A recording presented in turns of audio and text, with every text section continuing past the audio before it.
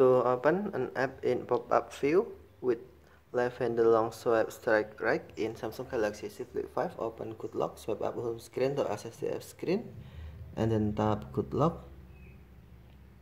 Select left up, and then tap one hand operation plus.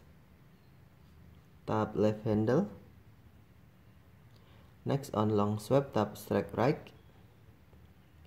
and then tap or select start app in app in pop-up view okay? And then select app you want. Choose an app to start with this gesture. For example google fit okay? Now when you long swipe strike right the left handle you can open google fit in pop-up view. Okay thank you for watching. Have a nice day